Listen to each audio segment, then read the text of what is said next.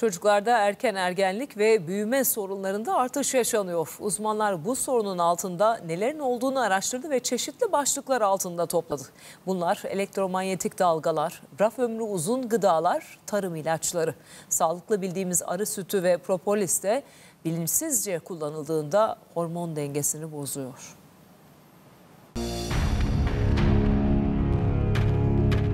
Üç nesile kadar bu etkinin e, devam ettiği görüldü. Elektromanyetik dalgalar.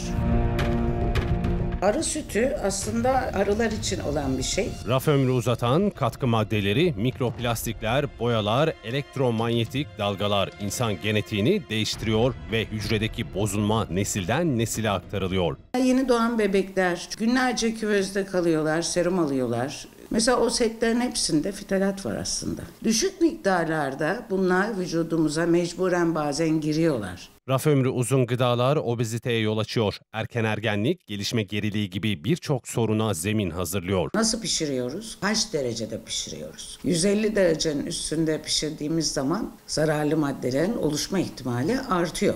Uzun süre dayanabilmesi için konulan maddeler var. En başta o şişmanlık yapıyor ve doyma hissini etkiliyor. Yani Çocuk çok istedi kıramadım. Bile bile çocuğumuza zarar veremeyiz. Arı sütü ve propolis çocuklara bağışıklık için veriliyor ancak uzmanlar önermiyor. Çocuklarda kullanımına uygun görmüyoruz. Önce büyümeyi hızlandırabilir ama sonra kemikleri kapatabilir, boyun kısa kalmasına yol açabilir. Propolis kullanan bir e, erkek çocukta meme gelişimi olmuştu. Propolisi çocuklar için önermiyoruz. Elektromanyetik dalgalar uyku kalitesini bozuyor, beyin gelişimini olumsuz etkiliyor. Uyku düzenini çocuklarda bozulmasına sebep olabilmekte. Melatonin salgısına azalmasına sebep olmakta veya tiroid sistemi üzerine şeker metabolizması üzerine etki yapabilir. Çocukların başına ve vücuduna mümkün olduğu kadar uzun uzak kalması için kablosuz kulaklıklar kullanılabilir. Çocukların yataklarından uzak tutulabilir. Ve hormon bozucular nesilden nesile geçiyor.